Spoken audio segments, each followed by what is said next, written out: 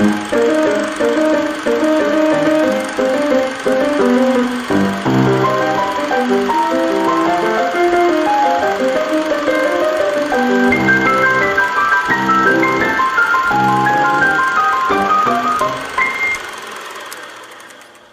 hello, and good evening. My name is Sinead, and I'm joined by my lovely co host.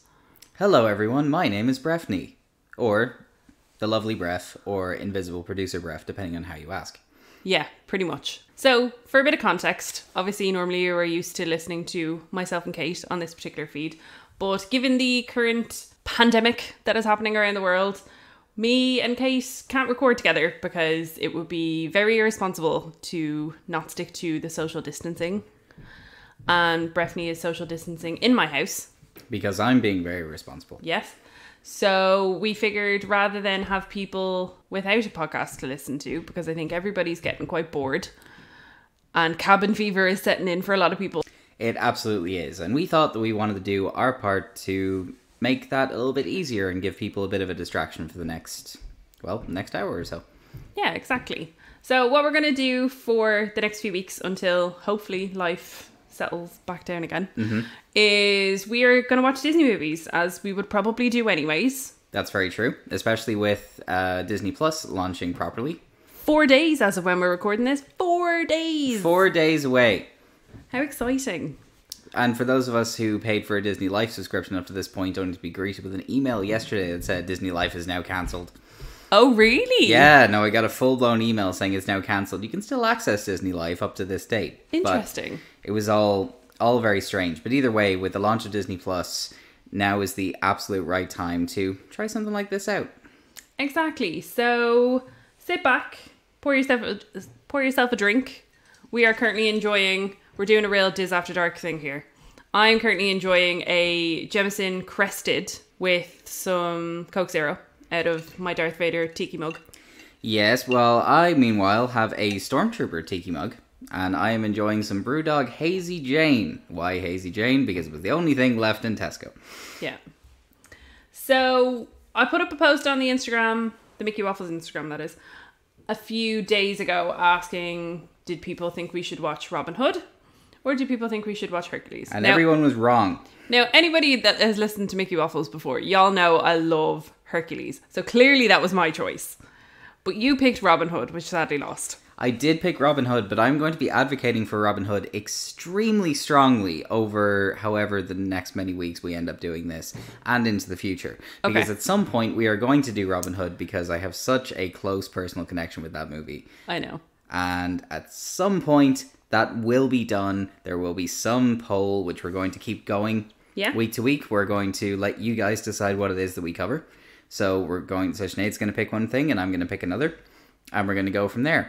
And at some point, Robin Hood will resurface, and I plea to everyone listening: the next time it comes up, for the love of Christ, please vote for it. Yeah, so we'll post them. We'll maybe post the next one on Sunday. Yep, Sunday's a good day. and you guys can pick. We won't ever specifically say which is whose pick because we think it's fairer to not, but there will obviously, if people listen to Mickey Waffles, they'll be able to guess some of mine, I can imagine. Absolutely. But on that note, forget everything I just said about my advocacy for Robin Hood. It's completely anonymous. You That's will fine. not know at all. That is fine. So, we, I suppose the way we thought about structuring this is that we would go through the movie, we'd give some facts and figures. I love facts. Breff loves nerdy movie figures. I certainly do. and we'd go through the movie, we'd give you our thoughts. We've painstakingly taken notes whilst watching the movie. We have. Some of them are quite similar, some of them are a little bit hilarious. And then we thought we'd give, I think if we cover four things story, mm-hmm. cast slash characters, animation, and music. So I think they're the four things that we'll kind of grade it on, and then maybe we'll give an overall an overall opinion. rating out of five. And then I've asked you, lovely folk who follow us on the Instagram, what your thoughts are. So we will go through those at the end as well. Absolutely. Sounds great. Perfect. So, do you want to start us off? Absolutely. So, ladies and gentlemen, I hope you're sitting comfortably. It is time for some facts and figures about Disney's Hercules. Who was the gliding gladiator? Hercules. Who's really hope you enjoy this. This is literally the only reason why I have a master's. Now, Hercules was released in 1997 to much critical aplomb. It is the 35th animated classic. It was directed by Ron Clements and John Musker, who previously directed The Little Mermaid, Aladdin, Princess and the Frog, and Moana. It cost 85 million of your finest dollars to make, and it made 252.7 of the audience's finest million back in the box office. Hmm. Currently holds a 7.3 out of 10 on IMDb and 84% on Rotten Tomatoes. This is a total side note.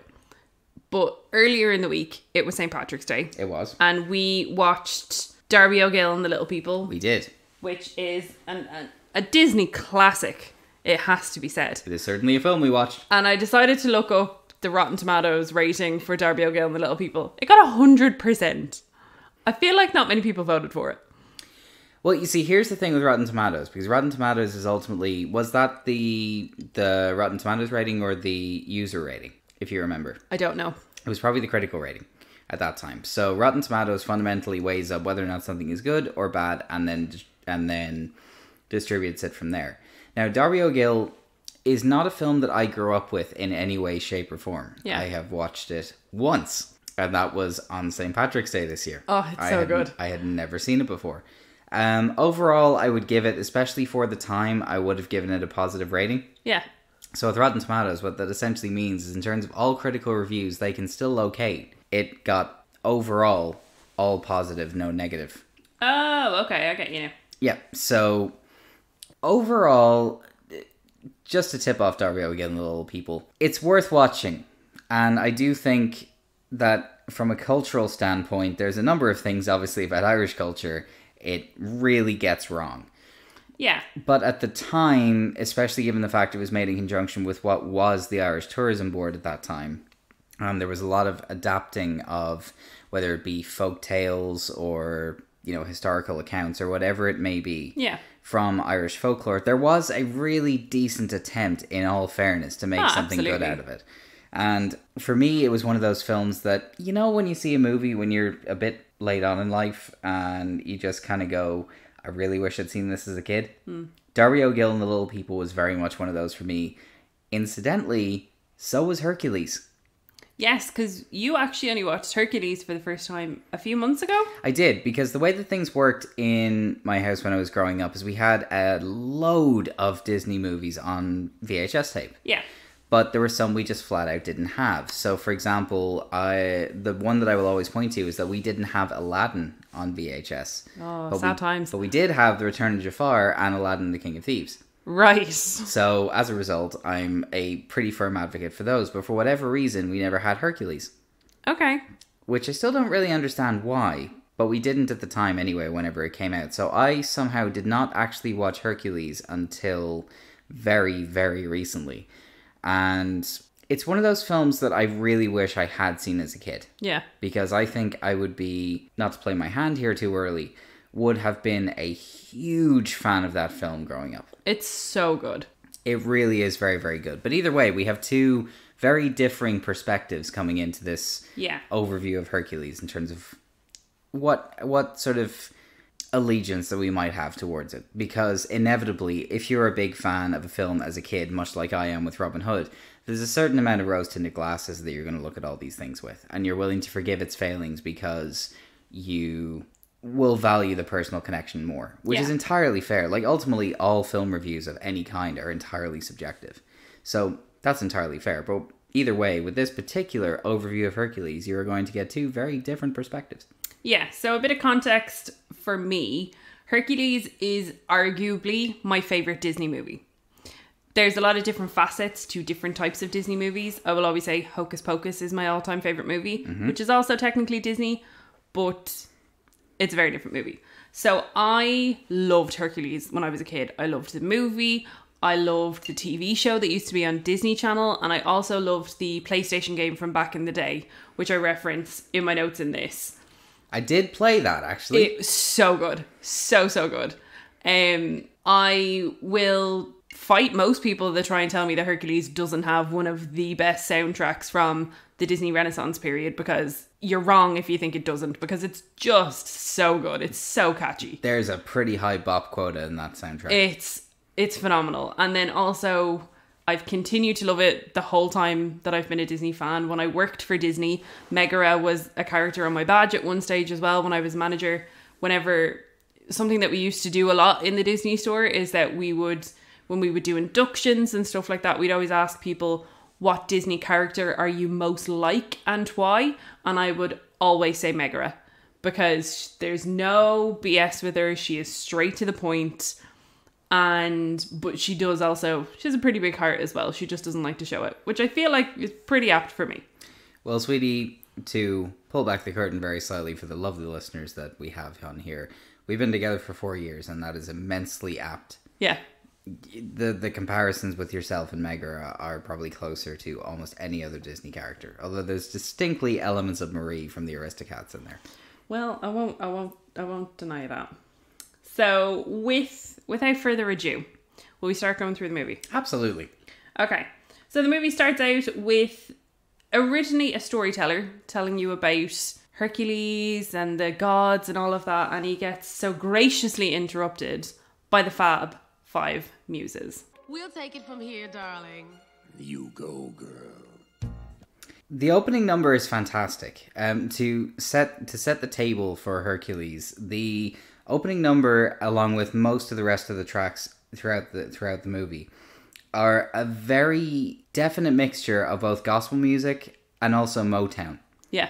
And for a movie that's ultimately based on essentially a Greek comedy or a Greek tragedy, that's a fantastic choice. Yeah.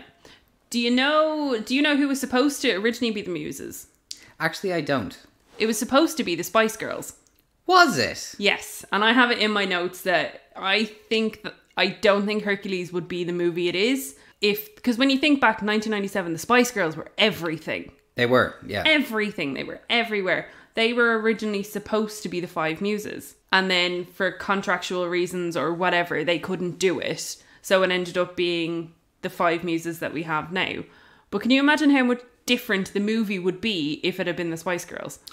The best way I can describe that is that comes across as a more sort of DreamWorksy decision. Agreed. And I mean that for both the best and worst of that statement. Now, DreamWorks is, from my perspective anyway, coming from a not quite as Disney belligerent fan person perspective. Belligerent. belligerent, yes. How rude. Thank you. Uh, no, belligerent in the best possible way. Belligerent isn't always terrible. But I think that would have dated this movie significantly. I agree. And I think that at the time, yeah, it probably would have played pretty well.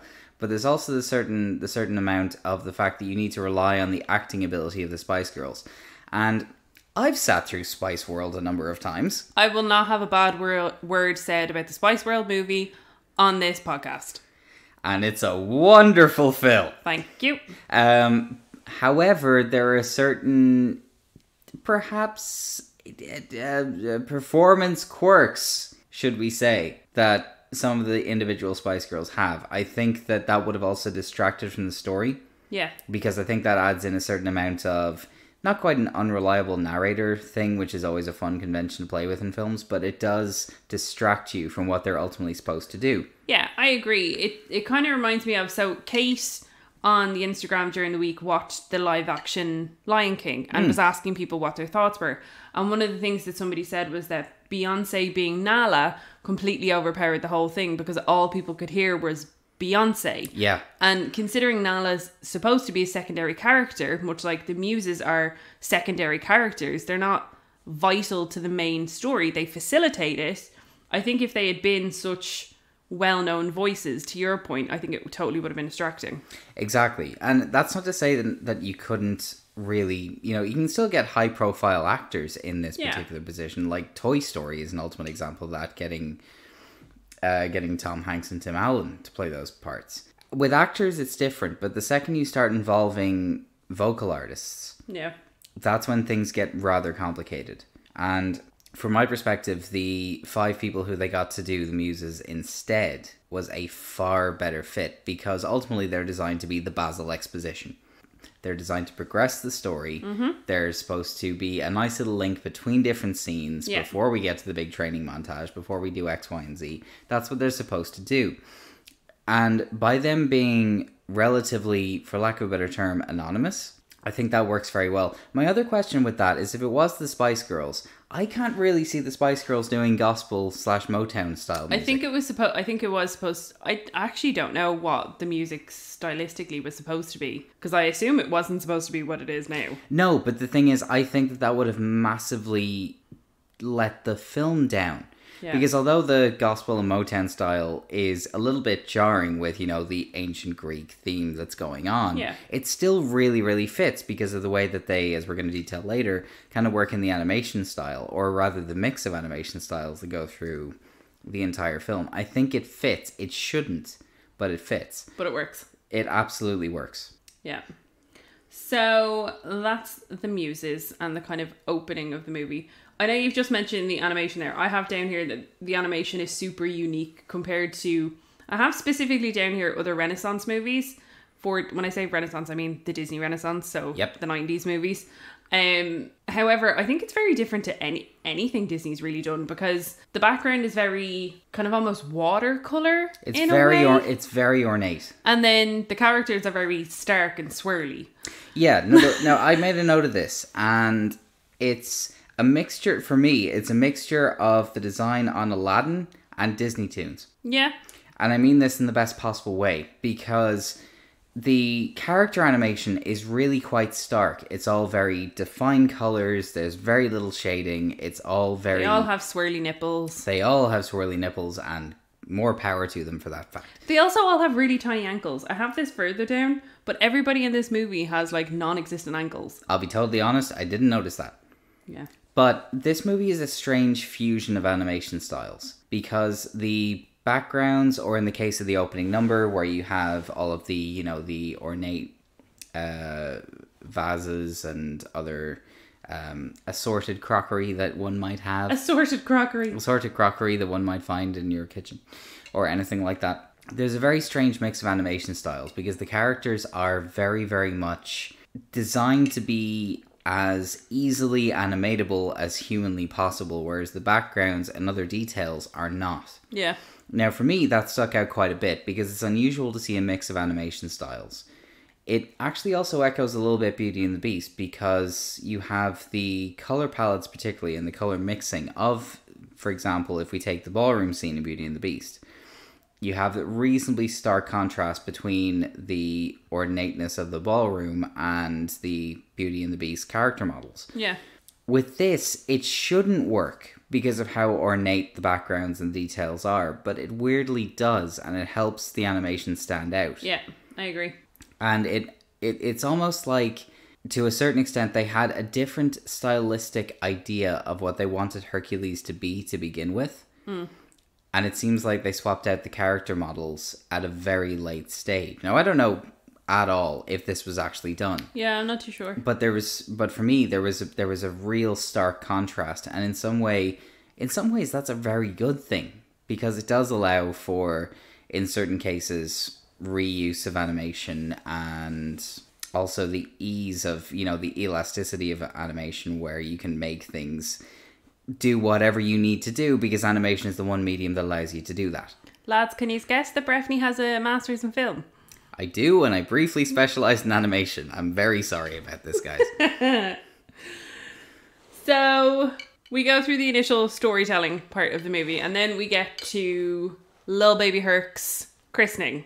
And the only kind of major thing I have from that is that Baby Pegasus is the cutest freaking thing.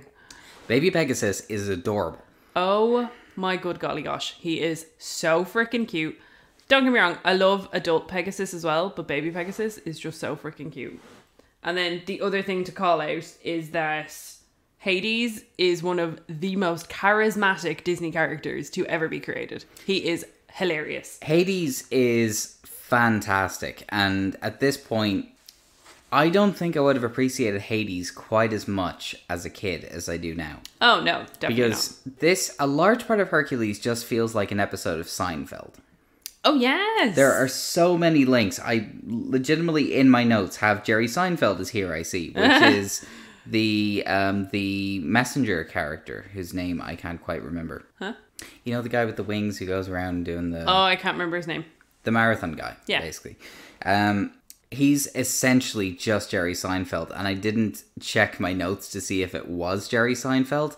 But either way, this is a very long episode of Seinfeld in so Yeah. many different respects. I agree. And that's very much of the time. It's a very late 90s thing. It makes sense. Hades is a brilliantly done villain because you could have just made him very cookie cutter.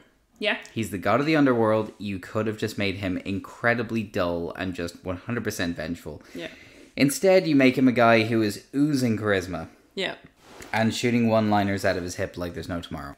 And James Woods, who voiced Hades, actually most of his lines were ad libbed. He had a script, but he kind of ad libbed most of it, and they just let him have at it. And he has said on numerous occasions that Hades is one of his all time favorite roles that he ha- has ever played. And anytime Disney have asked him to re- reprise his role, so for example in Kingdom Hearts and stuff like that, he's always like, absolutely, yeah, let me do it. Yeah, because you see, this is the same thing. It's the same thing that Disney allowed Robin Williams to do with Aladdin in 1992.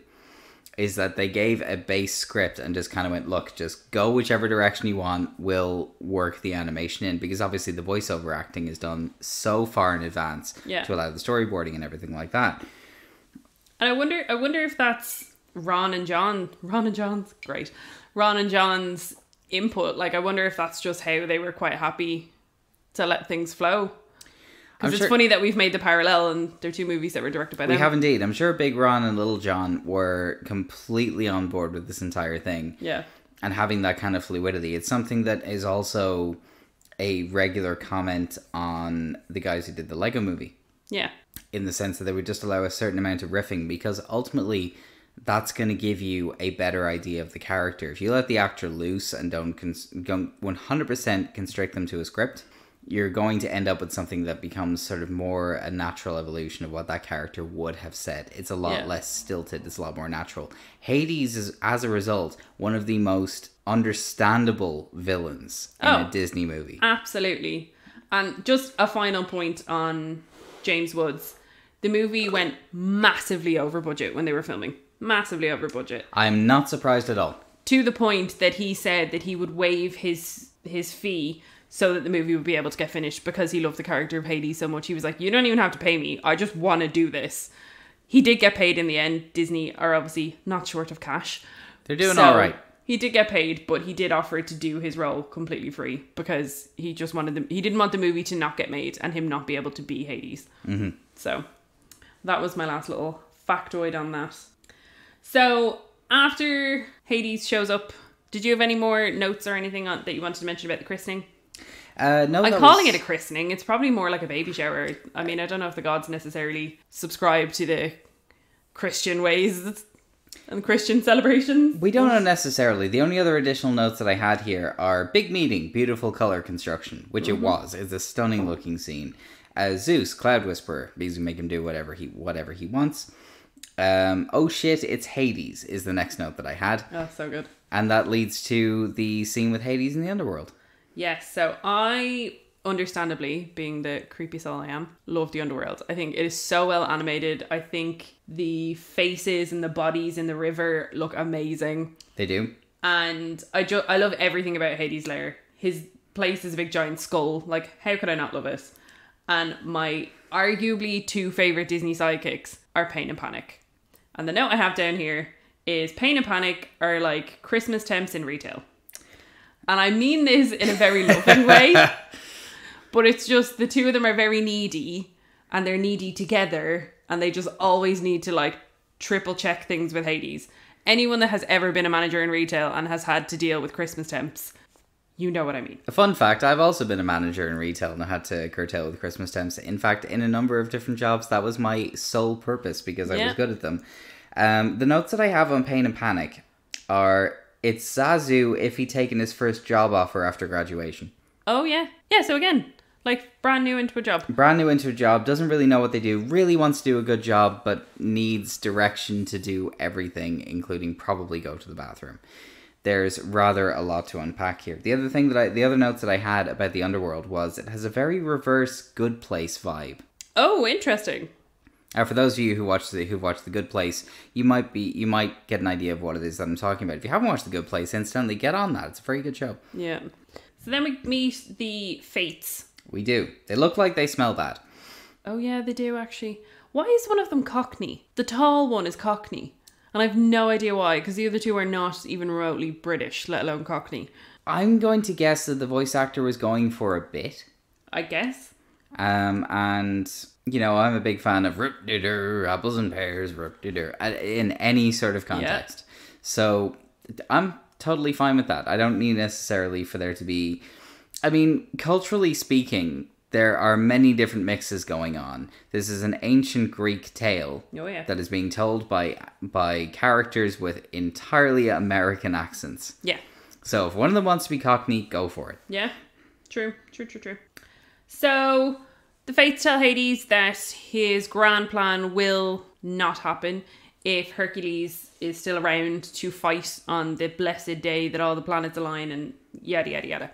So he tasks Pain and Panic with going and killing baby Hercules. Yes. So they do a Mother Gothel style kidnapping of baby They. Hercules. They give him a bottle with a potion to kill him. However, he doesn't drink the last drop. Nope, the last drop is left there, which leads to a very nice opening third act of the movie later on. The other note that I have on this is that in some cases, a number of assets for LeFou were definitely used for pain. You think? Absolutely. There's a number of. The movements in particular are very, very similar. And in all fairness, if you have those at your disposal, use them. Oh, absolutely. Absolutely.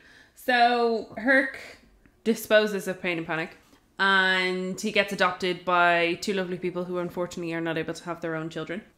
So he grows up thinking that he's human, which for the most part he kind of is because he had that serum, whatever it was. And then we go into the next scene where we have teenage Herc looking like a puppy that hasn't grown into their paws. We do indeed, and he's confronted by a number of people who don't want to invite him to play with them. One of whom might as well have been Dolph Ziggler, and do and does not Oh care god, for her. yeah. Poor Yep. little Jerkules. For a little Jerkules. So, one thing to note with this particular scene so, this is where he is going somewhere with his dad and a, go- a load of bale of hay, bale of hay, hay bales? Hay with a load of hay bales. And he demolishes a whole town. As you do. Now, another little fun fact about this particular scene is there's actually an error in the animation. So if you watch it, the first way it's animated, and when you look at it from the outskirts, it's starting from the middle of the round bit and it's going all the way out. So it's starting in the middle and it's going to end in two parallel lines, basically. However, when it finishes in the up close one, it finishes in the middle of the circle. It does, and the entire reason it does is to allow for the strike joke to happen. Which is entirely fair, because I really like that joke. Yeah. So just something to keep an eye out for the next time you watch it. And yet another Seinfeld inc- incident in this particular movie, incidentally. Okay. with the merchant who's vaguely holding up both sides of the uh, temple arches, I'm reasonably sure is one of the characters in Seinfeld. Okay, cool. And then there is a strike. Nice throw! So, whilst Hercules might be the clumsiest person of all time, he's a damn good stone skimmer. He certainly is, and this leads into the, op- I guess, Herc's opening number. Go the distance, which is a beautiful song. If you can adopt a child like Hercules, please call. Oh dear. it's such a beautiful song though. And it I have down here it, it leads to a really quite sweet scene of him saying goodbye to his adoptive parents. And especially cuz like mid 90s was very lads lads lads. So seeing a teenage boy embracing particularly his dad in Yeah. that respect for that period of time really wasn't seen a whole lot particularly in movies so it's nice that that was given that space It was. I completely agree with that because again, this is we're talking about 1997. If you made that film now, it would not be It wouldn't in be a big any deal. way surprising. But 997, especially with a guy who's supposed to be, you know, like this ultimate facet of, you know, manhood and godliness or whatever Hercules is supposed to be, it's really nice to put that together. Yeah. So he goes off to the Temple of the Gods and he meets with his big old stone, his big old stone dad Zeus. It's Herc on tour and he's visiting the Temple of Dad. Aw, that's cute. But also, he gets reintroduced to his best pal, Pegasus. Why did Disney create such good horses, and why are they all just doggos? I think possibly because horses by themselves are a little uninteresting. Oh, In all honesty, and this comes from a very your whole house is decorated in horses. It is. My mom is a particularly big fan of horses and horse racing and show jumping in particular. I worked in the bookies for a year, so I was kind of surrounded by that kind of culture as well. But it's very hard to anthropomorphize a horse into anything other than a dog because the basic idea is that it, it comes from the you know the the it comes from the theory of wartime where a horse basically becomes like your best friend Yeah. and it's very hard to relate that with something that's ultimately a utility, like a horse would be in that context. Yeah. So the easiest thing is to make a horse like a dog.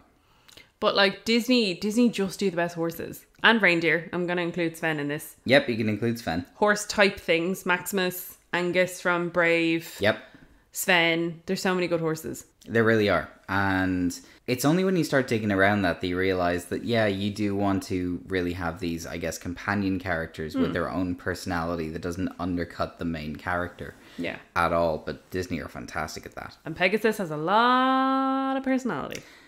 Uh, Pegasus has a lot going for him. Yeah, he's a, he's a He's a magnificent horse with the, with the brain of a bird. yeah, and he's thick as we will as we get to when he tries to cram his way into Phil's house. Absolutely. And speaking of Phil, so we encounter Philoctetes. What's your thoughts?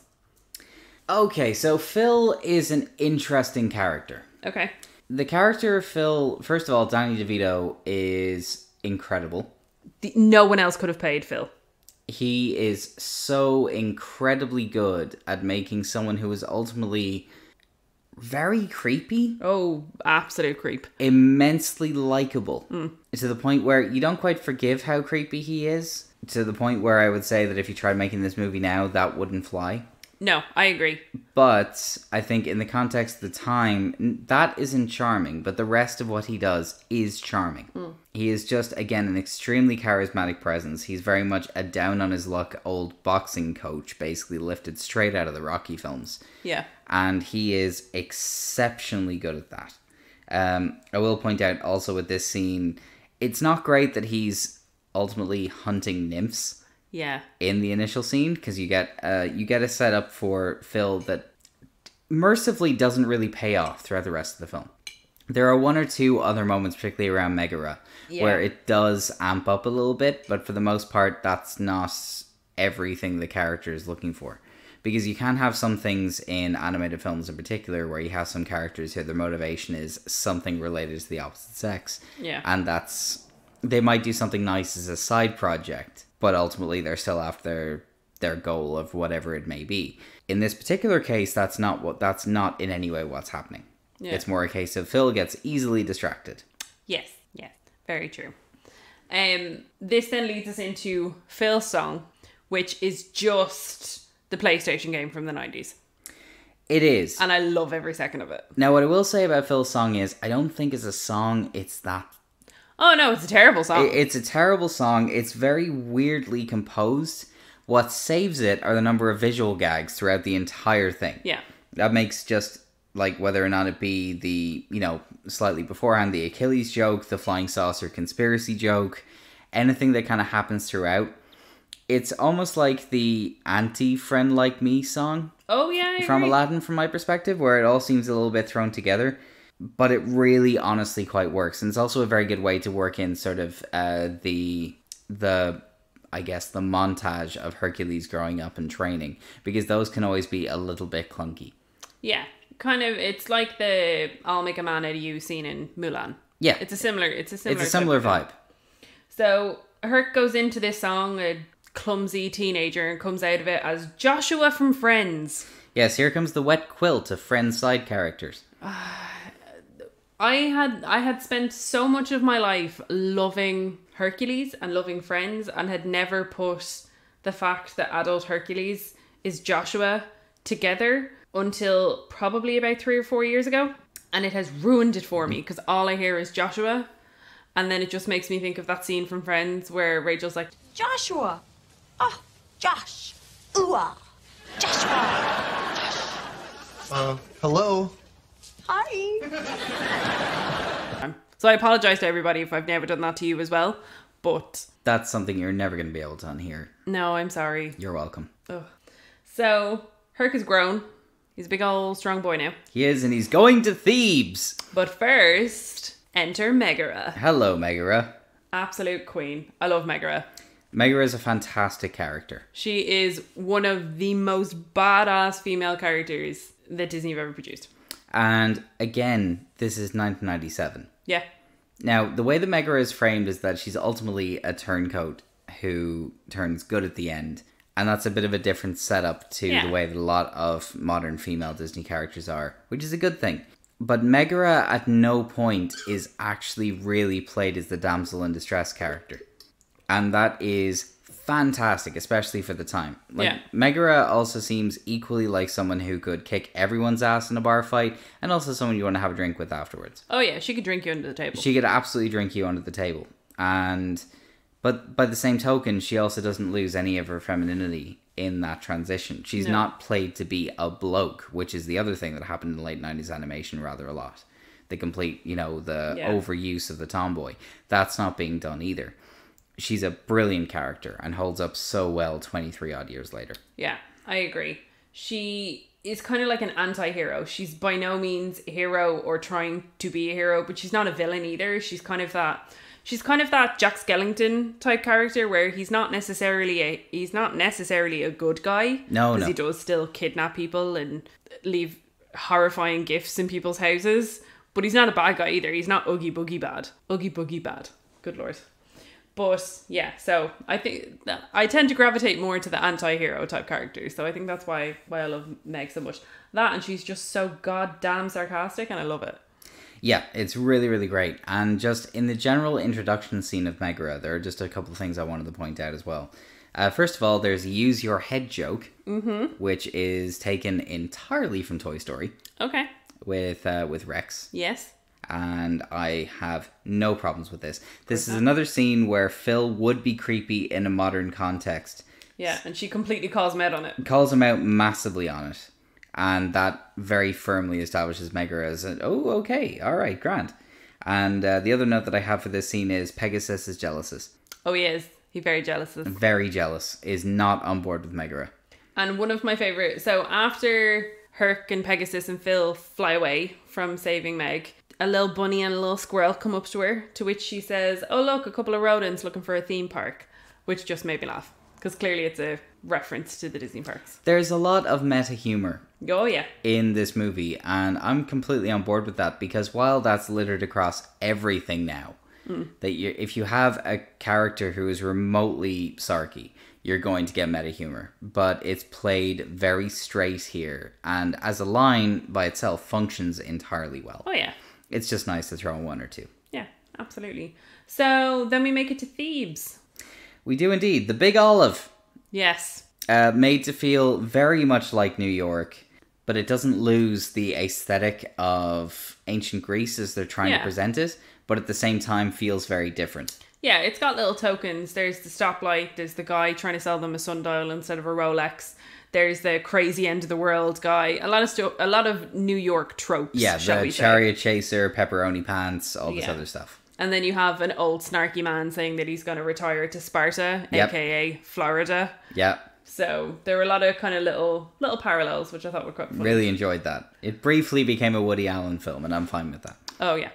So then, whilst Herc and all that have been making their way to Thebes, Meg strikes a deal with Hades to get two years taken off her sentence because she gave her soul to Hades to save a man she was with, and then he was a dick and fecked off and left her.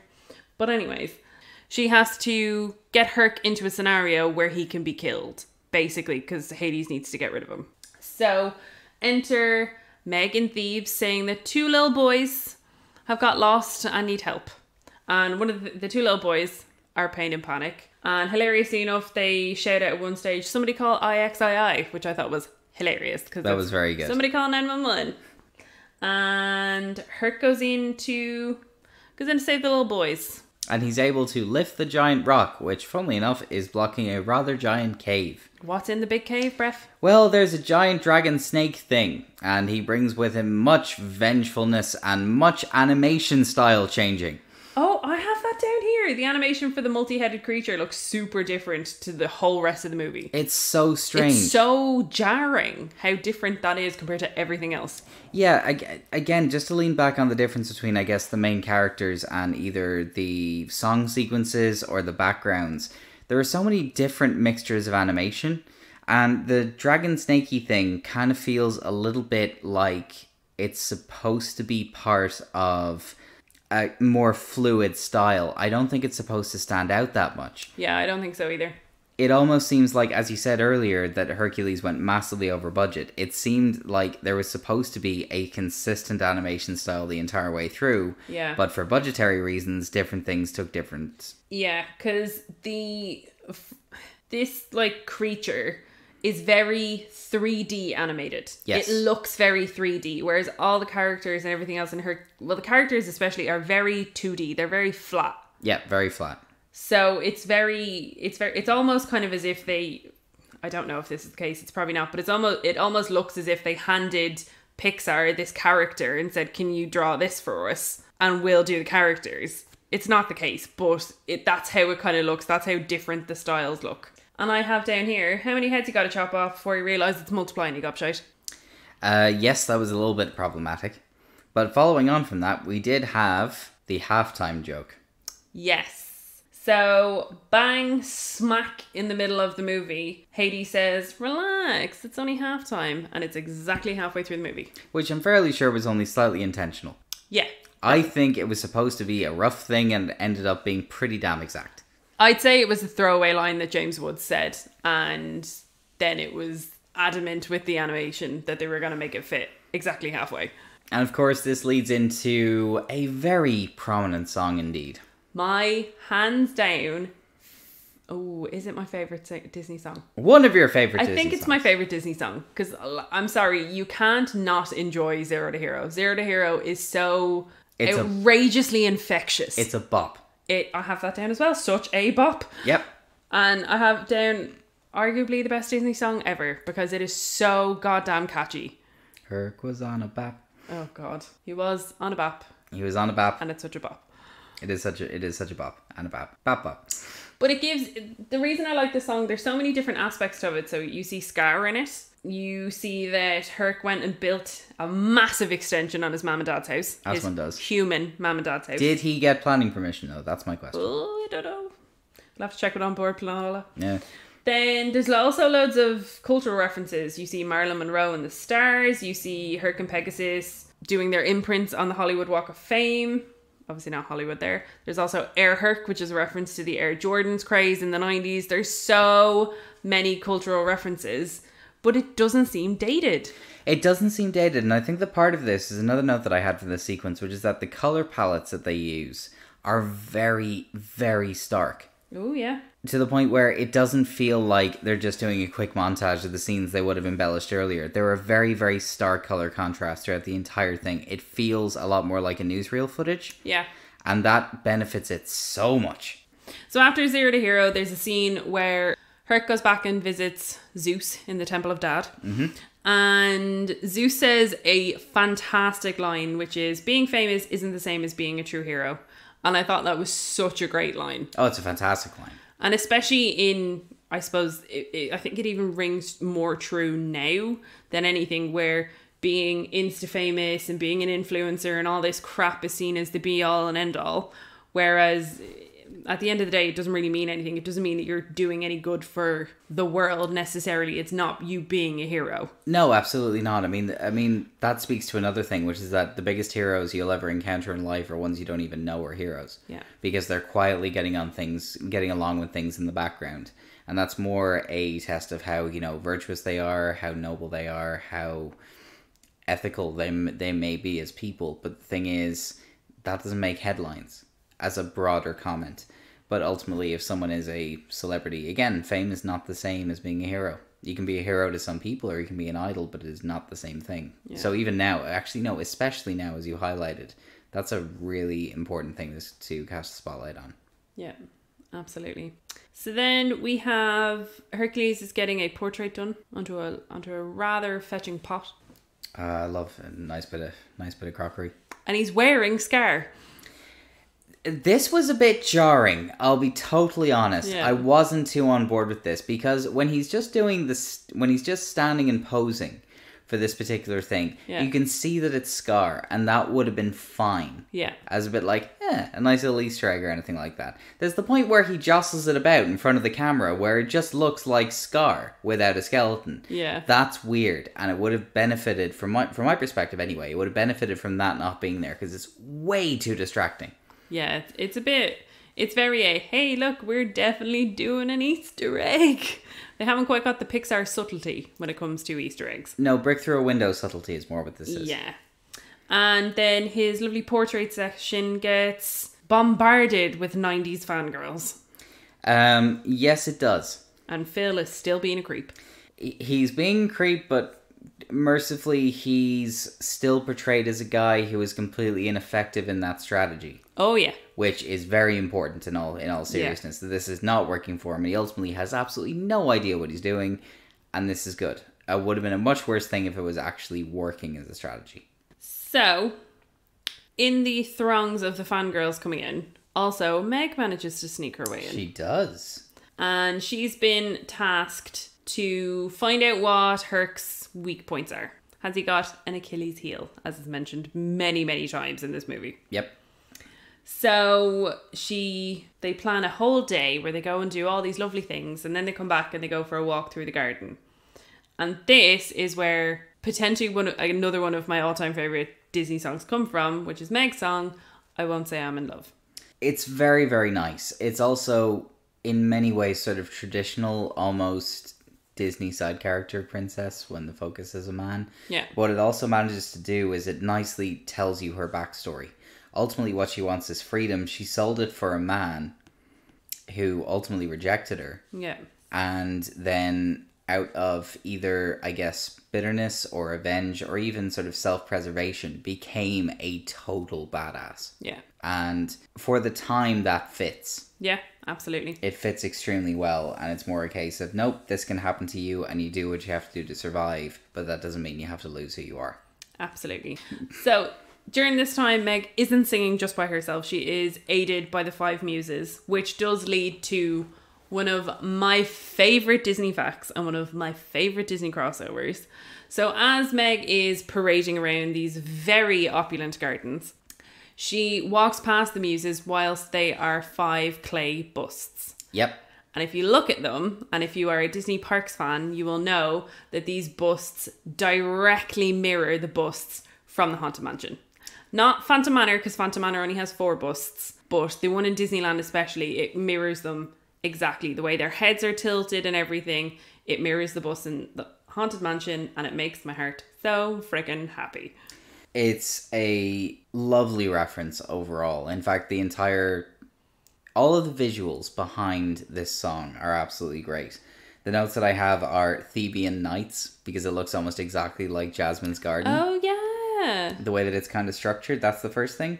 Um, the song itself is very shoop shoop, Yeah. which I absolutely love, and again that leans a lot more into the Motown, more so than the gospel, which is great. Um, it's a tremendously defiant song. So like we're going through here, and there's any number of things happening. There's um, as I have a note, I have a note here, which reads: Charlie Dimmock spent two days installing that water feature that gets man- that gets mangled Yeah. there's a lot going on here and all it does is paint Megara as someone who yes she was introduced as someone who's a bit conniving but she's a very conflicted character Yeah. she has so many more layers than most female characters particularly up to this point would have had in an equivalent film Yeah, I agree.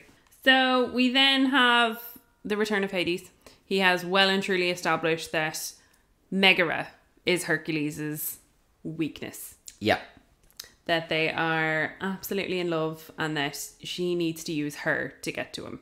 So he goes and he confronts Hercules in his training arena, arena even. And I have down here, first of all, why is Hercules John Cena? This is a fair question. They're very similar. They're very similar, and to be honest, if there was a live action version of Hercules, I would probably cast John Cena. Yeah, just Im- impossibly positive and good. And you want to hate him, but can't. Yeah, totally agree. It's the Superman type quality.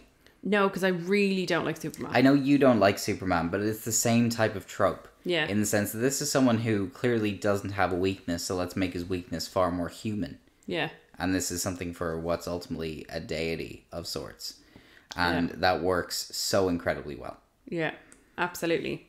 So Hades gives Hercules the option. He will free Meg if Hercules gives up his powers for 20, 28, I was about to say 28, 24 hours. for 24 hours, which give should, in his mind, give him enough time to release. What are they called? Release the Titans. Which should give him enough time to release the Titans, overthrow Zeus and all the rest of the gods, and enact his terrifically evil plan. his dastardly plan. Yeah. Hercules, however, puts in a stipulation that he will only agree to the 24 hours if nothing ha- nothing were to happen to Meg in that period of time. Yes. Crucially, that Meg in no way gets hurt. Yeah, absolutely. So that's that. He takes away Hercules' powers in a very Ursula taking Ariel's voice type dealio. He goes very grey in the animation style. He does. Hades takes off in his chariot, which would Is make a trem- Fab. he it would make a tremendous Mario Kart vehicle. Oh yeah. Oh, I love that. I pick that every time. Yep. That orange shy guy be laughing. Perfect. So he releases all the Titans, and they only really seem to be able to say "kill Zeus," and that's it. And they go the wrong way. Oh, bless them. I love that scene. It's, It's such so a small good. detail, but it just goes, uh, guys. Elsa's looking very different. Yeah. Little little freezy guy. And the one-eyed demon that he sends after Hercules desperately needs a pedicure. There's a certain amount of uh, neglect in the whole, um, Everything. you know, self care going on there. Yeah. He needs he needs to go get his nails done. All of them. He does indeed. He's let he's letting down people with names derivative of mine down, unfortunately. O'Sullivan comes from O'Sullivan, meaning essentially son of the Cyclops. Oh. Yes. There you go, folks. Bit of Irish for you. There you are. Happy days. So the Cyclops goes after Hercules and he is getting beaten to a pulp because he is trying to save the people of Thebes. He's trying to do what he's been doing the whole time. And Meg, being the badass that she does, steps in and she ends up getting a little bit squished. Yeah, she was quite crushed. Yeah. And I would put that down as major badass points. Yes, I agree. I agree. And as a result, because of the agreement that he made with Hades, would be that Meg would not come to any harm. Unfortunately, she harmed. She quite harmed. So he gets all his powers. So in the meantime, we see Zeus and the rest of the gods being overthrown by the Titans. Yep, and we get uh, Hades being charismatic Jafar Oh yeah. is exactly how he comes across to me. Yes, I agree. Jafar I like as a character, but is a bit dull. Yeah, he's a bit dull. But this is charismatic Jafar, and I am yeah. on board. Oh yeah. So while the gods are getting dragged down to the underworld, Hades has an amazing throne and is drinking a cocktail, which why do the parks not offer these as permanent cocktails? It's a purple cocktail with a green gummy worm in it. I would buy so many. Uh, you definitely would, as would I. Would I want that green gummy worm. With a purple glow cube in it? Oh my god, it would be amazing. Uh, Disney parks, please get on that. Yes, please. We get the amazing line from Hades, which is It's a small underworld after all. Which I appreciated. Love, love a parks reference. Give them to me in all movies, please. So, Herc arrives. He saves his dad.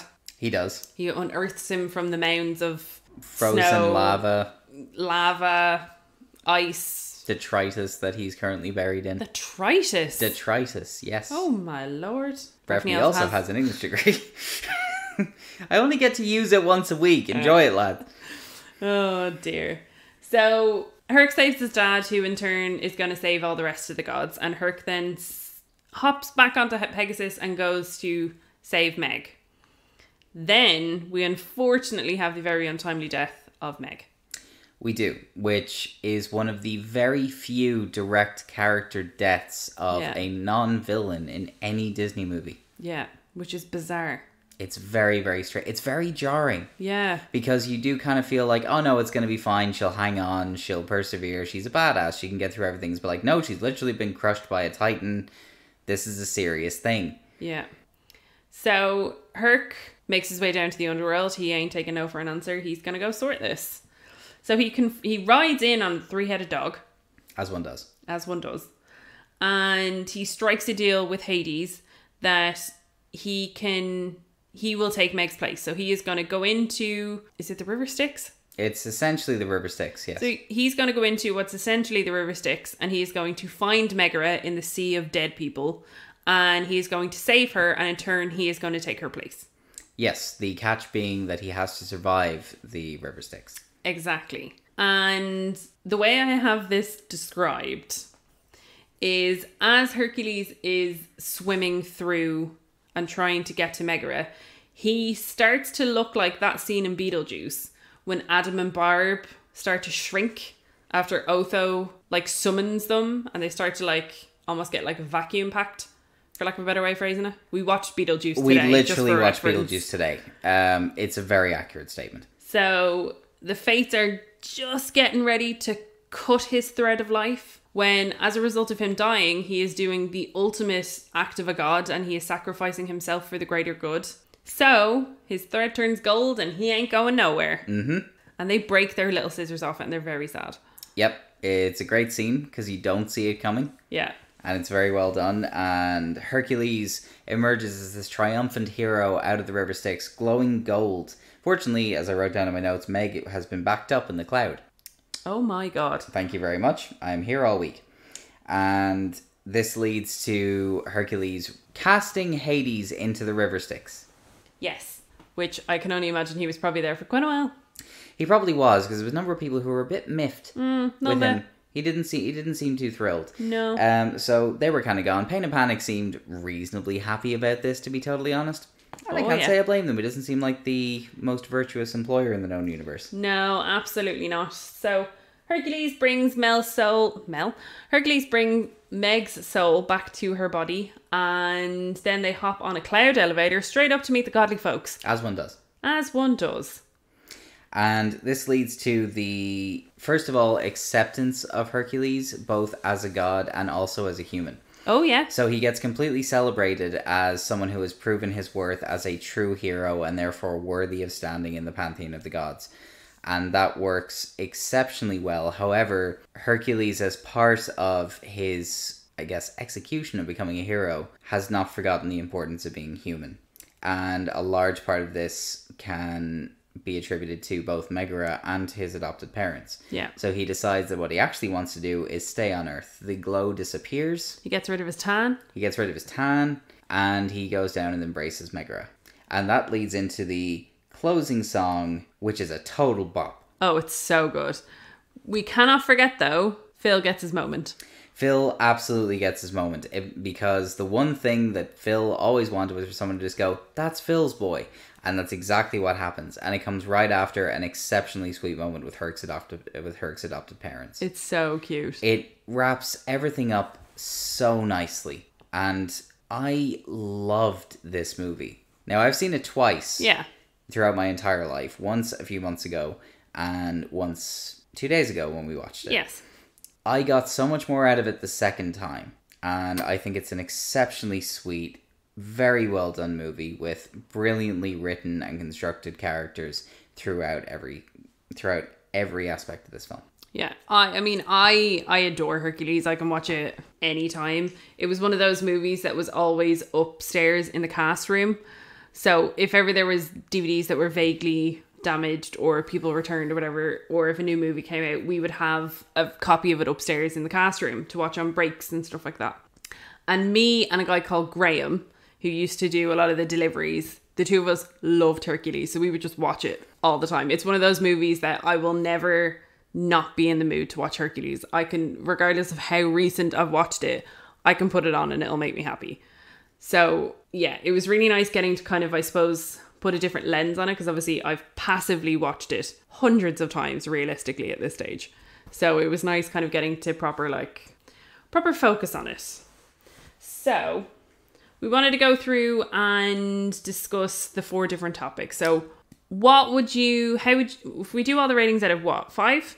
I'd say out of five. Okay. So, what would you rate the animation style out of five? This is very tricky because Okay. this seems like three movies smushed together Okay. in terms of how everything is kind of put together. I'm a big fan of.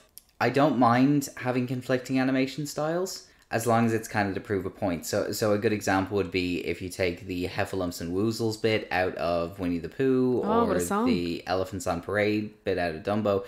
I'm fine for having those completely cons- those completely changed elements if, for example, it's a dream sequence or a nightmare sequence because you can completely play with it. Um, case in point, if you've seen the uh, the trailer for Soul, um, it's definitely messing with that Yeah. in the transition between uh, between the two different levels of the afterlife. That makes sense. My issue arises when there's no change in the context and you change the animation style because it does stick out quite a bit. Um, however, I really liked this film. I won't give it a five, but I will give it a four. Okay. All right. I yeah, I think four is pretty all right. It, it there are kind of a lot of jarring elements to it, but there are also a, a lot of beautiful element, elements to Oh, it. I think the color palette are, is so nice. The movie is lovely to look at. My the only reason I would dock a star would be it could have been even more lovely. okay, fair. Now, story wise, what would you give it? The story is very, very good. Obviously, it, it derives a hell of a lot out of Greek mythology in general. It plays around with so many different conventions of that. I'm going to give it another four. Okay. I'm going to give the story a 4.5. I think there are a lot of really great elements to it. I think the flow of the story is quite nice. It kind of has a good. natural progression to it, which is massively helped by the music and the interludes and the kind of storytelling songs within it kind of help move it along. But um, I'm going to give it a 4.5. I think that's entirely fair. I, I'm docking a little bit of marks for as good and all as they are, uh, the muses, because I'm a pretty firm believer in show don't tell. I will say I love the muses, but this I, I'm very sorry. If y'all could see my face, I'm very she's very shocked and disappointed in me, which is par for the course for our entire relationship. Oh, but stop. but nonetheless, I'm a firm believer in if you can show these elements of the story without specifically having people call it out, great. I think it's a very nice storytelling mechanism in Hercules to do it this way, but it does kind of feel a little bit, especially with the casting change, that it's a little bit of a paper over the cracks. That it feels like there Okay. are one or two other things that could have gone in there. okay, okay, Having said that, absolutely do not dislike in any way, shape, or form. all right. Um, cast and characters. Five. Yeah, I don't think I did. hmm I might go four point five just purely because the Joshua thing. That's I- not his name, I- by the way. I'm I- well aware that's not his name. I think his name is Tate Donovan, but it's I, I completely see that. But I think as regards what his job was, which is can Oh, you, yeah. can you be an adult Hercules? Yes, he can. It's unfortunate that now we have the weird curly haired guy with negative charisma from Friends as how we know that guy. Yeah, But as a performance, Hercules ultimately, this is kind of the weird thing you play with. Hercules is Superman. And Superman as a character is really, really, really boring. oh yeah, And as a result, there's not a huge amount of a huge amount of movement. It's partially why you need the animation, for lack of a better term, for all of the side and supporting characters yeah, as well as the villains. Like I don't think Hercules would work anywhere near as well if it wasn't for how much of a commanding presence Hades is yeah, or Megara. You do need Megara to be the stronger personality. She's not the damsel in distress, but Hercules is a little bit too cookie cutter. yeah. And I, I think that's kind of the thing. Like he's obviously the main character, and I think it's I suppose maybe Hercules as a character I would maybe give a four point five, but I think that's because that traditional cookie cutter good guy type dealio is just not my particular taste. It's not my cup of tea, but it- However, all of the other characters, which normally would be kind of secondary supporting roles, completely take over. The muses are fantastic characters. Hades, Pain, Panic, Pegasus, Phil, Meg. There are so many excellent characters agreed. that it's just, I, I feel like I won't give it a 4.5. I'll give it a 5. You'll give it a five. I'll give it a five. I'm glad I- I you wo- came I around to a reasonable way of thinking. Yeah, I, I won't I won't talk too much for Joshua because I think that's just my own correlation with it. It's it's in fairness, it's a fair qualm to have. Yeah. And last but not least, I know what I'm giving this. I'm giving the music a five. I would give it more than a five if I could. I'm giving it a four.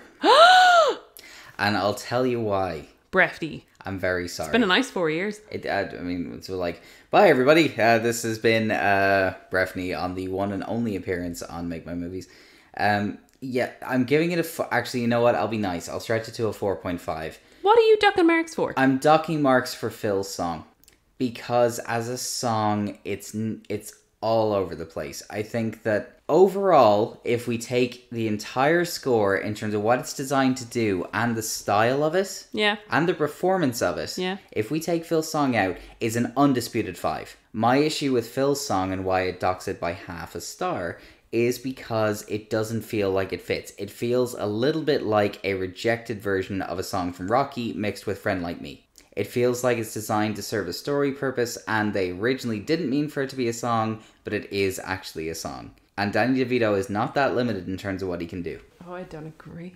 I really wanted a better song in that place. Not full blown hoorah genie type territory. Yeah. But I did feel it could be better. Having said that, Zero to Hero is a great song. The opening song is great. The closing song is great. But the entire soundtrack is not perfect for me. And for that reason, I'm giving it a 4.5. But if I could give it a 4.7, if I give it a 4.75 out of 5, I probably would. Well, I'm giving it a five. That's fine. Overall, out of five, what are you giving the whole, whole movie? I'm giving it a really solid 4. But only one of your things was a four. Everything else was above a four. That's right.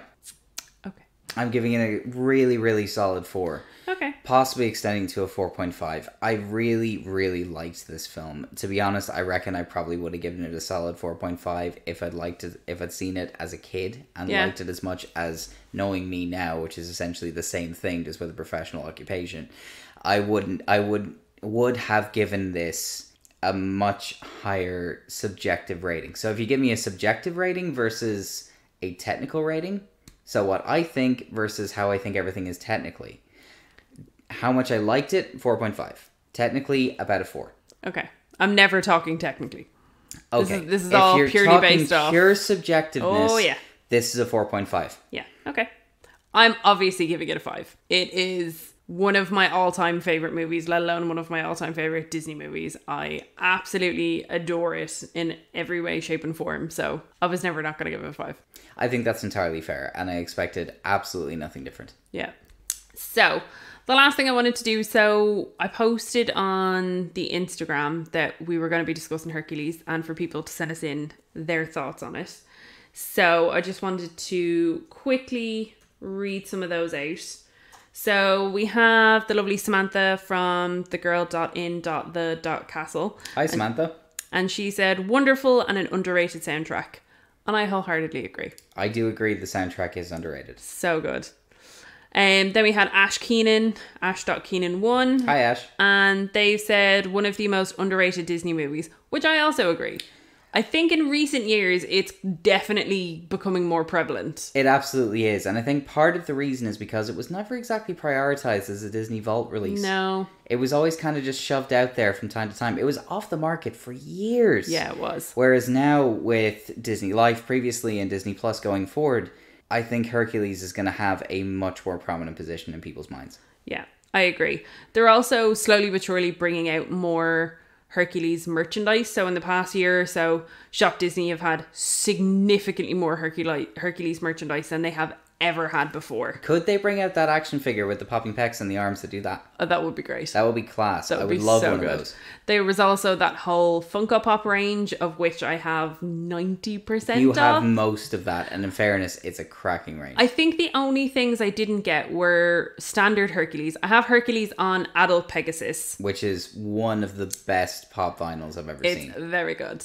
I have him. I have the two different versions of Hades. Yep. I have Megara. I have Pain and Panic. And I have Baby Pegasus. Baby Pegasus is adorable. So freaking cute. So yeah, I have I have most of them. But yeah, I definitely think it is completely underrated. Um Sandy, who is Glowteeny underscore Genie, which is a great name. That's great. Hi, Sandy. She said, Phil is that one Irish uncle everyone has, and Hades, dot dot dot, I can relate. Love that movie, and I wholeheartedly agree.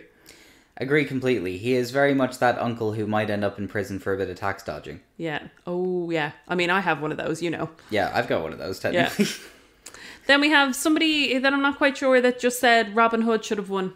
I don't know who sent that message in. I think it was a bitter L Betty A or a bit- bitter L Breffni. A bit no, no, no. Well, well, if someone has the name Breffni, they might be a bit bitter for various different reasons. But I am hmm. not standing by anything like that. Robin Hood is at some point going to be discussed, and I will discuss why technically I would probably rate it lower than Hercules, but nonetheless. Still.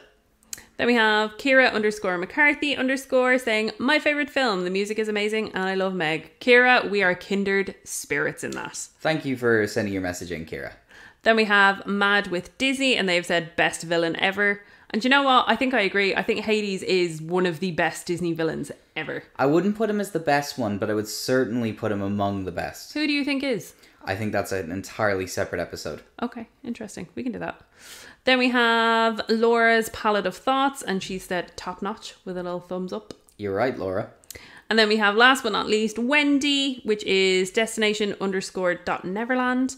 Honestly, a highly rated movie, yet still feel it's under it's underappreciated plot, characters, and music. And I again completely agree, Wendy. Wendy, I absolutely agree with you. So yeah, that was Hercules. It was. Overall, I, I think it's a very interesting thing that we came from such different perspectives on this movie. Yeah. Because I was just coming in as, for lack of a better term, film studies wanker, who is coming from things at a different perspective Yeah. and used to, and is very used to just drilling animation down to its core, down to its core elements, without actually having any sort of talent to create my own. Typical critic. Eh, well. But nonetheless, I found this a terrifically charming movie. Oh, it's so and good. I it's one of very few movies that I've seen as an adult that I've gone back and just gone, man, I wish I'd seen that as a kid Yeah. because I would have adored it. Yeah. I would have absolutely adored it. Yeah. As as I've said many times, Hercules is a firm favourite with me. It has been since I was a kid, so it was nice, I suppose, kind of having a different a different spin on it, shall we say. Indeed. And uh, overall, I think that was a cracking first episode of this little Hey, side project. good Well done. That was a terrible thumb thumbs up. No, that was a terrible high five. Right, we'll give that another go. Hey. Hey. So keep an eye out on the Mickey Waffles Instagram. We will post in the next few days two more options and we will let you guys pick. Again, we won't tell you whose is whose, so you'll just have to guess. And yeah, let us know what you think. Do you have any other thoughts about Hercules that you would like to tell us? Please do get in contact. Let us know. Um, is there anything else that you'd like for us to cover in these episodes? Are Yeah, there- please let us know. This Yeah. is the first episode of a new venture as part of Mickey Waffles as a whole. So, any suggestions you might have or any particular perspective you want us to look at things, by all means, let us know because we'll take a look at it and consider everything. Yeah, we'll also get Kate to pick an episode uh, movie for us at some stage as Oh, well. 100%. Give her full reign. She's gonna pick something. She's gonna make us watch Cars. She's going to make us watch it. We're not going to open that door. She's gonna make us watch Cars. She's going to make us watch Cars. But we'll cross that bridge when we get. We'll get to cross that bridge when we get to it. it. But yeah, yeah. Thanks for listening. Stay safe, guys, and wash your damn hands. Wash your damn hands, folks, and thank you for listening. Bye. Bye. Müzik